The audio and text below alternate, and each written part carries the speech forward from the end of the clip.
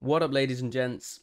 This is going to be a quick video because Blizzard just announced that they are going to be dropping the classic hardcore servers and have announced the rule set. This kind of gives us a little bit more info about how the, the classic hardcore server is going to look like in comparison to kind of what we've got at the moment with the add-on and how it's going to play out. So, first of all, death is death, which we kind of took as a given but what they've said is you will basically be given the option to transfer your character off onto another server. So you can still play it on another server, but not on the hardcore server anymore.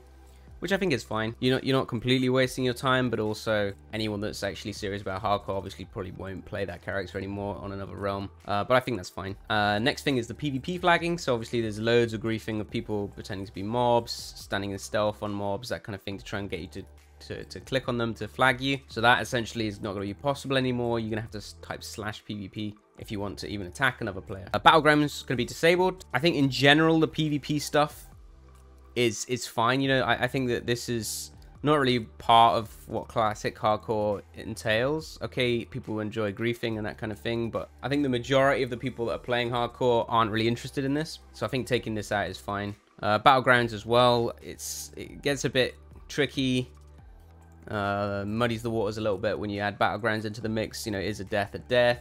How are people going to play? I think it says something about it, people being overly defensive, that kind of stuff. So I think disabling battlegrounds is is fine.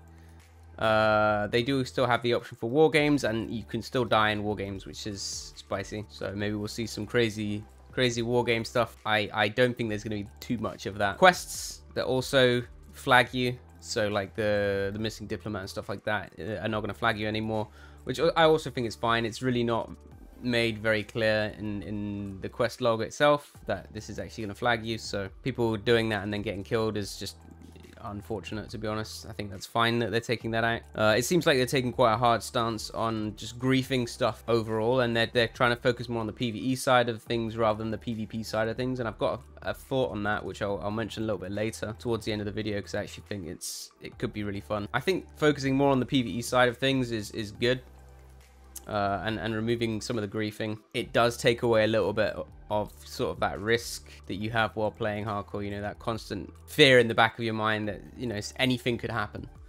Uh, it, it's, it, it feels like you're being a little bit more, more mollycoddled, so to speak, I think. But I think overall it's not a bad change as long as, you know, uh, so yeah, again, leashing is just more more griefing taken out. You can't leash past the edge of a zone or something anymore. They're talking about griefing here, and they're basically saying if anyone is like regularly griefing or like fake reporting people for griefing, stuff like that, they're going to take a really hard stance on it. So they just, it looks like they really want to stamp that out. And I think overall it's good, but like I said, it does take away that, that that fear, you know, which definitely takes something away from the hardcore experience for sure. Dungeons. So dungeons are going to have a 24 hour lockout. Uh, I'm concerned that people will just rotate as many dungeons as they can constantly in groups.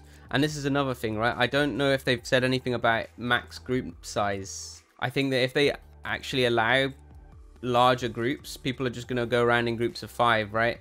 Just AoE grinding and grinding groups of five and just removes so much of the risk factor that makes makes hardcore interesting. So I think that rewarding solo play and, and potentially even duo play, if they're going to allow larger groups in the world, I think they have to reward solo and, and duo play more just because it's more risky, right? We don't really want to see a repeat of, of Classic 60 where you literally just had people dungeon farming all the way up to 60 and, and ignoring most of the questing because that would be a shame. I think that the questing is sort of an integral part of, of Classic and being able to bypass that, just doing something else that somehow happens to be better in terms of the meta, that's more boring overall, let's be honest, would be a shame. Uh, but yeah, I think maybe the 24 hour lockout should be enough to, to, to stop that, but we'll have to see. Um, power leveling and stuff is not going to be, not going to work due to less XP. Uh, debuff and buff limit is removed. I think that's fine. I think this was stupid anyway. You can't bubble hearth. I think that's fine as well. You know, Soulstone doesn't work. You know, Shaman Ankh doesn't work. I think Bubble Hearth working makes Paladin very trivial. I think that's a good remove. Duel to the death. This is really interesting. This is what kind of gave me the idea about uh, other server options. But yeah, right now you can basically do a duel to the death. And it's just a normal duel, but you can actually kill the player and the, the, the kill is permanent, right?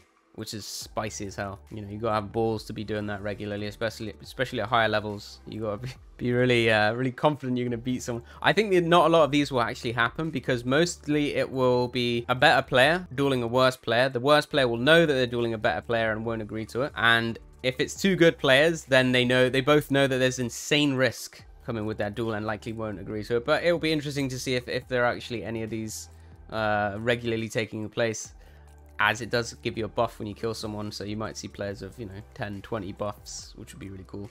It does say you have to be level 10 at least to get the buff so you could just have somebody like spam leveling and win trading it i suppose. I think level 20 uh, level 10 is potentially a little bit low maybe needs to be level 20 or something but that does devalue the buff slightly you know. There's a big difference between dueling somebody at level 60 or something getting a win and you know dueling somebody at level 10 10 times you know and getting 10 wins right? So I think they potentially need a little bit more depth in terms of that. Right? Maybe instead of stacks, they could do like points or something. So depending on the level of the player that you actually kill, you get more points. Something like that could be cool. Uh, all content is going to be unlocked. Uh, I think that's good. I think that's fine. I, I don't like the, the gating system at all. It's going to be really interesting to see how fast people can actually go through the content and it's an actual race rather than being constantly limited. So this is this is going to be really interesting. I like this. Uh, and this this is just the griefing stuff again. But yeah, what I was going to mention is is they should have this Care Bear PVE version, right, where there's no griefing, nothing. I think that's fine. But they should also open a uh, a hardcore PvP server version where the first zones are, are, safe zones up to like level 10 or whatever, right? The, the initial starting zone is a safe zone. After that, you can encounter any other player in the world and fight them if you want to regardless of faction. It's basically like mercenary mode. And if you kill them, you loot their shit. All their shit. Everything. Right? Including quest items. So it's going to really, really encourage actually fighting. And being constantly aware there's other players out in the world. The thing that they would need to actually do though is you wouldn't be able to have zones anywhere near as populated as they are now. You'd have to you'd have to uh, reduce the number of players in any given zone due, through the you know the phasing that tech that they already have. So that you know encountering another player is relatively rare. You'd have to have like a solo server and maybe a duo server something like that uh, which wouldn't overlap because otherwise you'd have two players coming in and killing one. You could have have a five man server if you want but i think that would just get crazy. I just i just remember doing a, a poe race once and it was like a three a three man poe race and we were just leveling up through the through the zones and you would occasionally find another group and you would fight this other group and you would get all their stuff and you would get like experience i think even from it. Um, you know you'd level up you'd get stronger just by fighting other people. You'd find some rare stuff just because they'd find some rare stuff off someone they'd killed you know and it would it would kind of uh, escalate that way.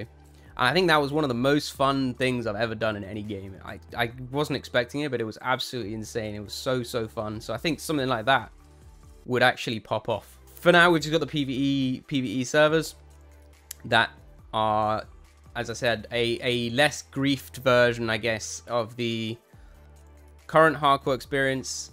I the main thing I'm concerned I'm not as concerned about that. The main thing I'm concerned about is are they going to allow five man grouping in the world? Because I think that is going to devalue and make the whole experience way too easy, uh, and re remove a lot of the sort of the feeling and and risk, danger behind you know what hardcore actually is supposed to be. So that's yeah, that's just my opinion on on the on the rules. It looks like fun. Hopefully it comes soon. I, just hope they don't leave it too late.